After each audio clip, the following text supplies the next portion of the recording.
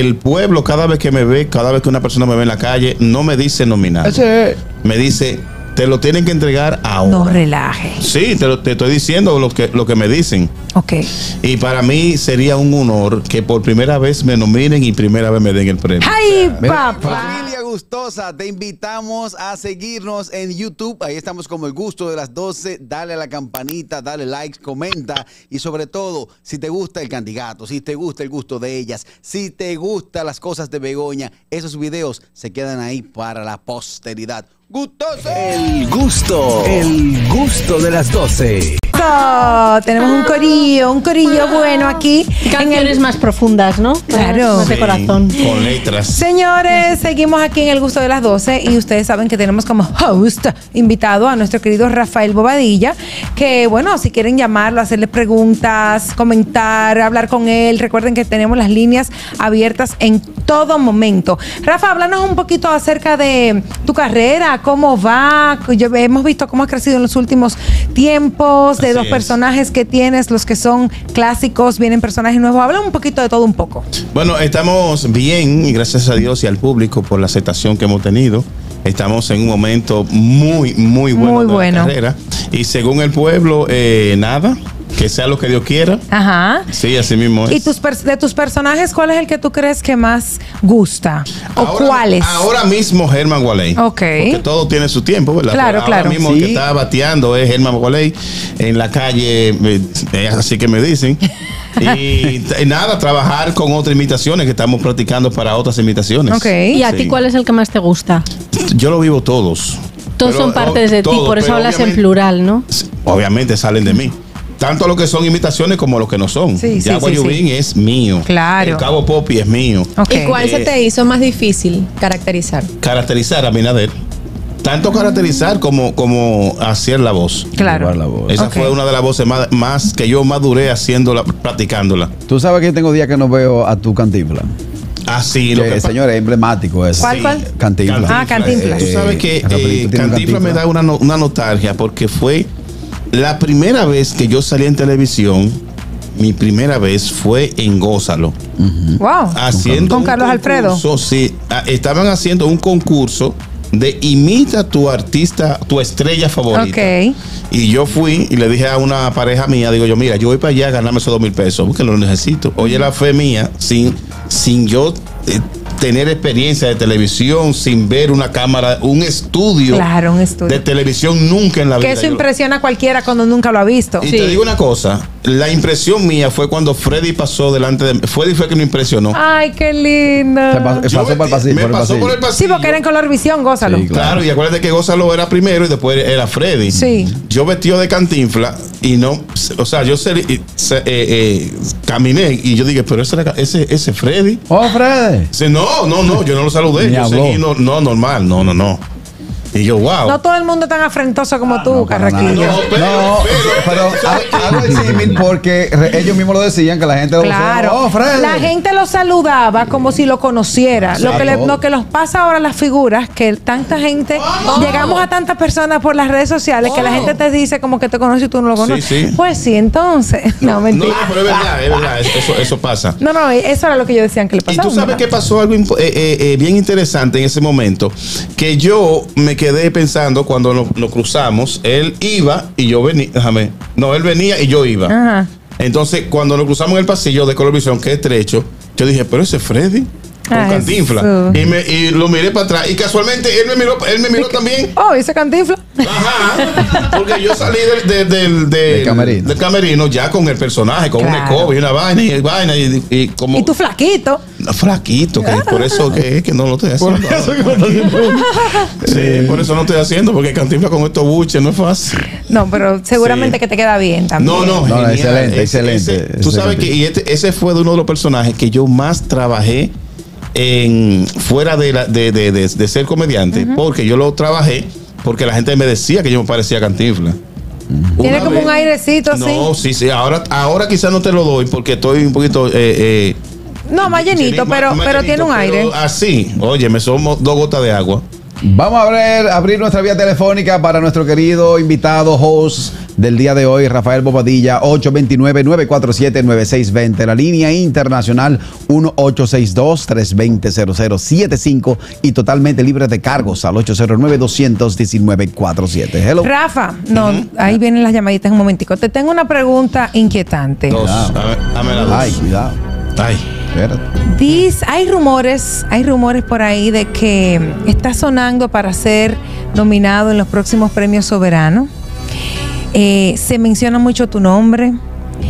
Dicen que te dan hasta por ganador. Ay. He escuchado algunos rumores. ¿Qué tú opinas de eso y qué tú has sabido al respecto? ¿Te han contactado? No te puedo ser hipócrita. Ajá. Ay.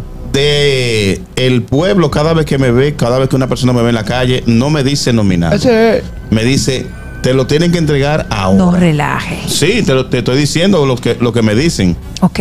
Y para mí sería un honor que por primera vez me nominen y primera vez me den el premio. ¡Ay, Mira, eso mándate la papá! carpeta, mándate la carpeta. No, no le, manda- no le he mandado y ya a esta altura. Manda la carpeta, pero que suene. Oye, ahora. Ay, ay, ay. Oye. Manda el CD, manda el CD. Ah, con un CD adentro. CD para que suene. No, pero sería muy chévere, así como dices, y, y creo que bien merecido eh, la nominación. Sí, Eh, obviamente, sí. si ganas, pues mucho mejor. Porque, creo que hemos estado haciendo el trabajo. claro, por, Creo por eso mismo, porque has hecho un trabajo. un trabajo impecable en los últimos tiempos. Hello, buenas. Buenas tardes. Hello.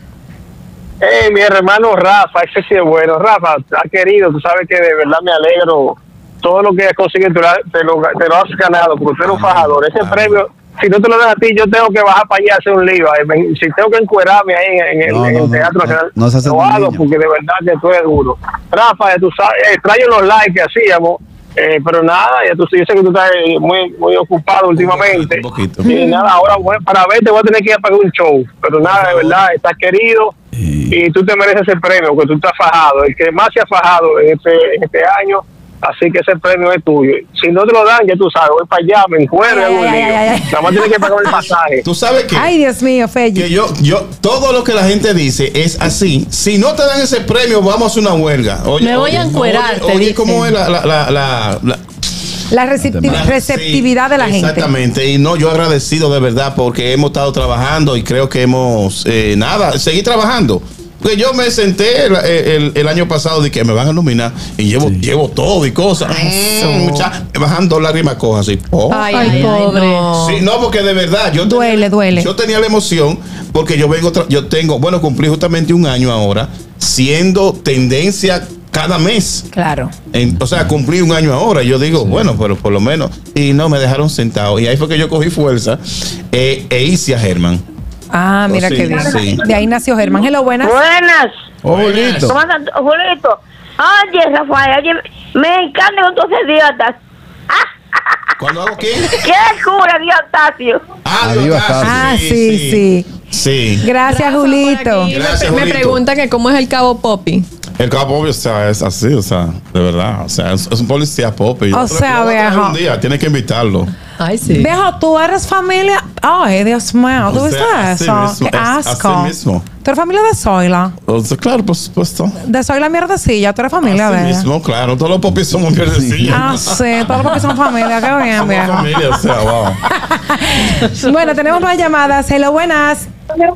Buenas tardes. Hey, Michael Lora from Ew. Miami. Bueno, felicitaciones para Rafa Bobadilla, está haciendo un excelente trabajo y los que lo seguimos desde el principio hemos podido ver la evolución y cómo él ha ido adaptándose a los cambios, a los tiempos. Eh, yo solamente tengo un solo consejo, Ajá. por la pequeña experiencia que tengo en los medios, disminuir un poco el nivel de exposición en los medios, tratar de reducirlo un poco. No, olvídate que la gente te va a empezar a decir, cuando tú empieces a rechazar sitios que te inviten, que tú digas, no puedo ir, te van a empezar a decir que ya cogiste aceite, Me lo han que ya te crees la, la última Coca-Cola del Pero no desierto. te veo como Pero disminuir un poco la, la exposición de los medios puede ayudarte. Ya tú has hecho el trabajo que, que, ha- que ha- que ya tú has demostrado para lo que tú das, todavía entendemos que falta mucho Rafael Boba, le van a venir muchísimos personajes y algo que tú tienes muy bueno es que tú te adaptas muy rápido a Ah, lo que está sí. sonando en el momento, tú dos días después ya tienes el personaje hecho y eso yo lo veo muy bueno, muchas felicitaciones. Amén. amén. Gracias, Michael. Tenemos más llamaditas para Rafael Bobadilla. Hello, buenas. Buenas tardes. Hello. Yo le puedo hacer una pregunta a Ana si no. Claro que sí, por supuesto. Dios mío. Ah, sí, lo sé. Dale. Claro. Una preguntita Ana si no. Y que dale. la esposa mía quiere todos los días, yo no puedo, déjamela. ¿Cómo fue? Repíteme tu pregunta, por favor. La esposa le da hambre diario, él no puede me- alimentarla.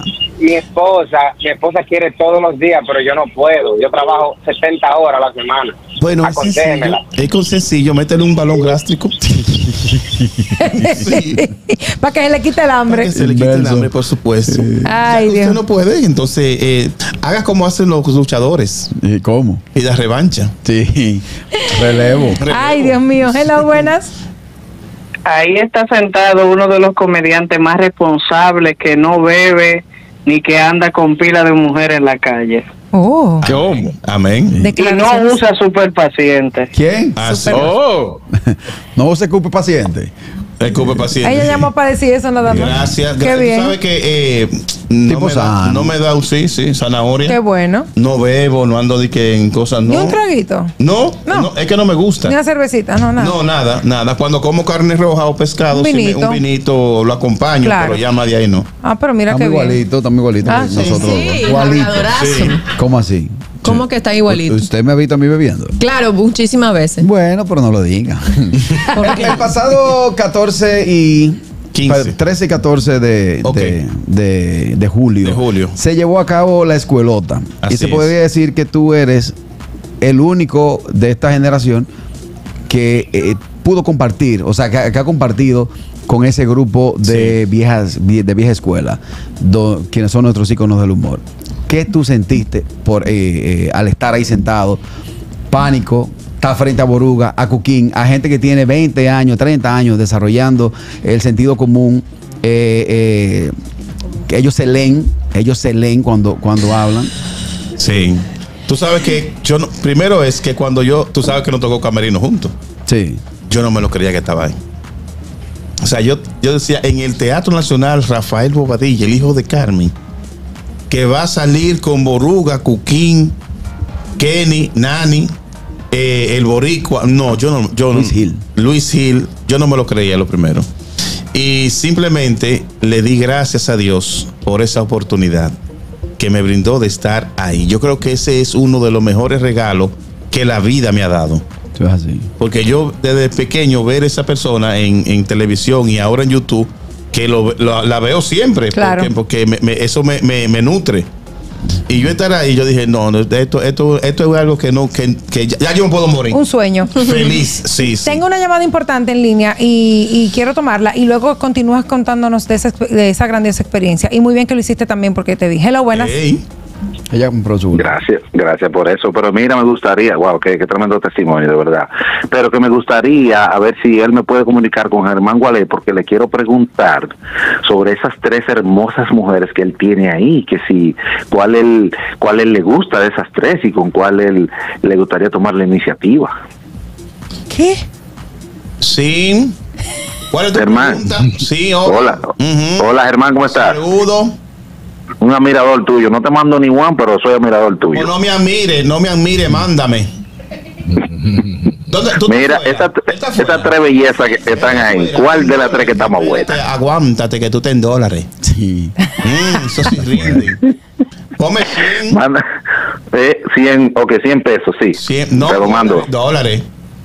como eso- dólares. eso Pero no. tú, tú estás en RD allá, Yo lo estás en cambio. RD lo que tú el Yo lo cambio.